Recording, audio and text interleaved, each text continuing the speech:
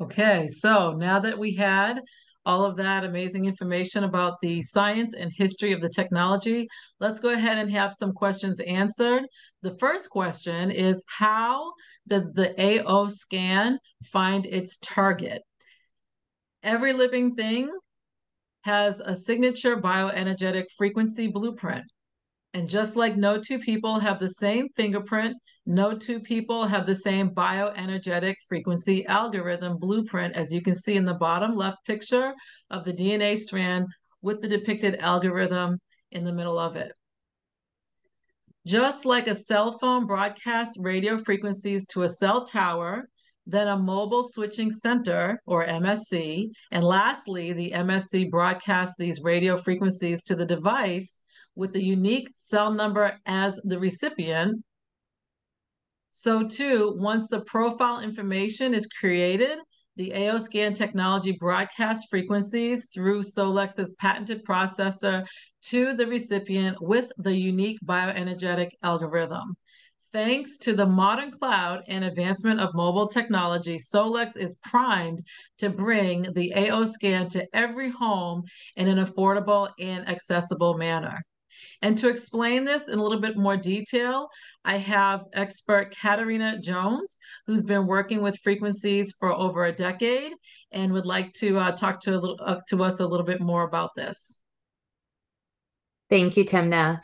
Um, yes, I really love this technology. And um, one of the questions I get a lot is how does this know it's me? And it's interesting because you read the reports and it's like, wow, that is definitely me. But how does it know it's me?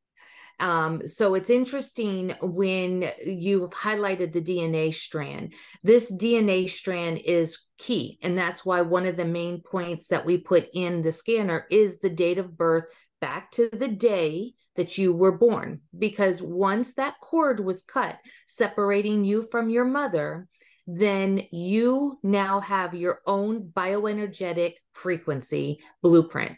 Okay, that's like a fingerprint, that DNA strand, nobody else has that. And it's interesting because we use the different points of contact because, or information like facial recognition, we use the, you know, shape of the eyes, the face, all of those things, plus the different information. We give it way more information we need to find you. You actually only need three points to triangulate your individual bioenergetic signature. Um, it's interesting because I sometimes use the analogy of a song when you hear the dun dun dun dun dun dun, you know what song it is. There's no other song like that. You know what it is. So imagine you're born and all of a sudden on the scene comes dun dun dun dun and then five years later or 10 years later there's a dun dun dun dun dun dun and then oh in history we also can find you know here she is again popping up dun dun dun dun dun dun that's your personal tone so everything in that DNA strand is emitting a vibrational frequency that is giving you your own personal symphony, so to speak. Hmm. And so that's able to be captured and uh, in the frequency line and it can be found anywhere. Nasa did a really neat study where um, they had cells that divided and they took the original cells and left them in the petri dish on earth and sent the other cells up into space. And when they did test on the cells here on earth they were able to read the readings on the one in space which was incredible. That's called quantum entanglement. Um, there, it, it wraps around. There is no length that you are not entangled. Once that symphony is found, it's found.